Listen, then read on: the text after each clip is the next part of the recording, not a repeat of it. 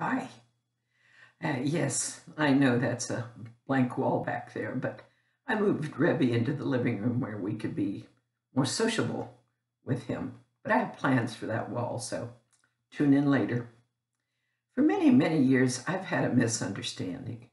I don't know if I just didn't study hard enough or if I had just made up a pretty story in my mind because it pleased me. At any rate, I recently got even more confused when I entered this name in YouTube and got several more versions to further confuse me. This is one of those things that the Bible is not completely clear on, so some of my story may be true and other not. I've always been fascinated with Mary Magdalene.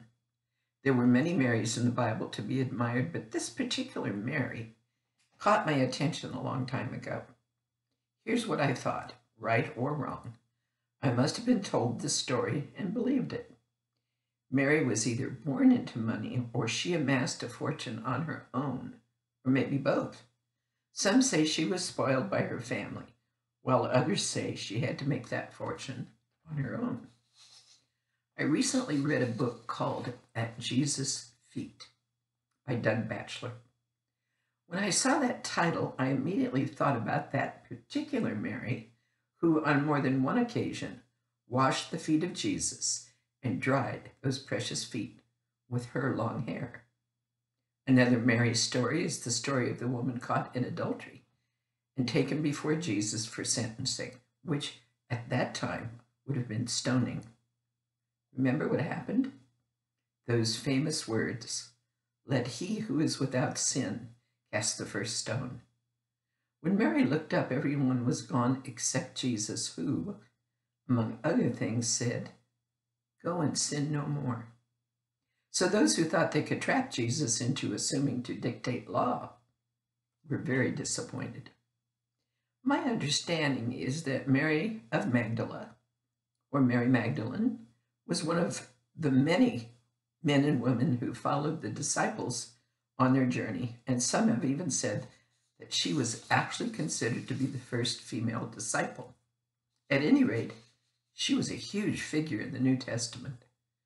Where else may we have seen her? Well, what about the scene at Lazarus' home when his sisters Mary and Martha were in a discussion about who was taking care of their guest, Jesus, in the best way? Of course, Martha was the chief cook and bottle washer, while Mary sat at his feet and listened to his words of wisdom. Was that the same Mary who was caught in adultery? My understanding is that she was, indeed, the sister of Lazarus. Even more exciting for me is the story of this same Mary at the crucifixion. There were many there, including Mary, the mother of Jesus, but he only appeared to one of them after he left the tomb. That was Mary of Magdala, also known as Mary of Bethany. The very same Mary we've been talking about, even though she did not know who she was talking with at the tomb, when she was made aware, Jesus sent her to tell the disciples that he was going to heaven right then. So he admonished her, Don't touch me yet.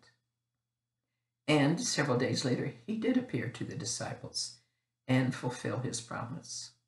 So you see, for these reasons and more, I'm really looking forward to talking with this woman when we get to heaven. Her biblical story has fascinated me for many years, and I want to sit face to face and hear the rest of the story. How about you?